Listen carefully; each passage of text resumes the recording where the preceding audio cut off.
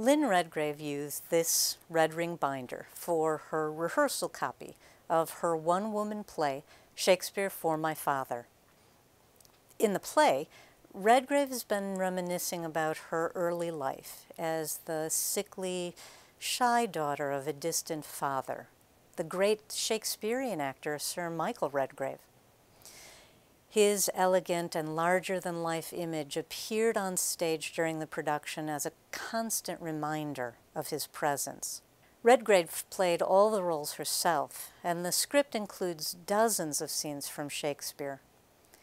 Reviewers equally praised Redgrave's versatility in presenting so many different characters, as well as the quality and ingenuity of the script she created, in which she used Shakespeare scenes as a way to both explore and, and understand her relationship with her father.